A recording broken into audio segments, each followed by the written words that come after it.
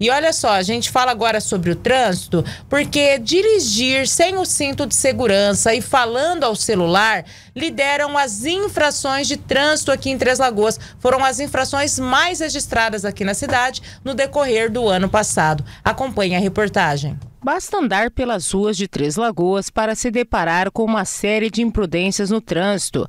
Em 2023, a Polícia Militar e os agentes municipais de trânsito registraram quase 6 mil notificações de infrações no trânsito.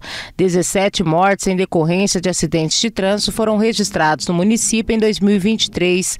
De acordo com dados do Departamento Municipal de Trânsito, das notificações registradas no ano passado, a maioria foi devido à falta do cinto de segurança segurança.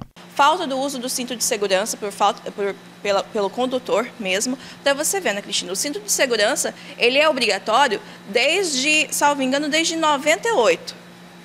Então já tem um tempo e até hoje as pessoas acabam esquecendo de utilizar o cinto de segurança. Passar pelo sinal vermelho, dirigir com a documentação do veículo vencida ou sem habilitação também estão na lista das principais infrações cometidas. Mas em segundo lugar na lista, depois do cinto de segurança, aparece o uso do celular ao volante.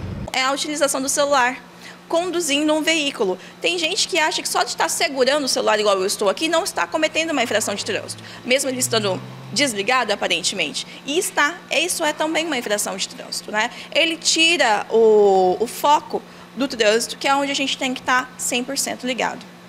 Muitos condutores reclamam das notificações aplicadas pelos agentes municipais de trânsito. Entretanto, segundo a responsável pelo setor de educação no trânsito do Departamento de Trânsito, Carol Feliciano, o número de infrações cometidas na cidade é muito maior. Basta andar pelas ruas da cidade. A gente sempre fala para o pessoal, faça um teste, né? Vá ali para frente da sua residência, do seu serviço, fique ali dois, três minutinhos observando quem passa na rua e quantas pessoas ali, infelizmente, estão cometendo uma infração de trânsito. Lembrando também que todas as infrações não são invenções nossas, né? Estão todas ali no Código de Trânsito Brasileiro, são resoluções, são adaptações da lei para salvar vidas. Isso que é importante o uso do cinto corretamente, o foco na direção no trânsito, isso tudo vai fazer diferença sim de um sinistro fatal e menos grave.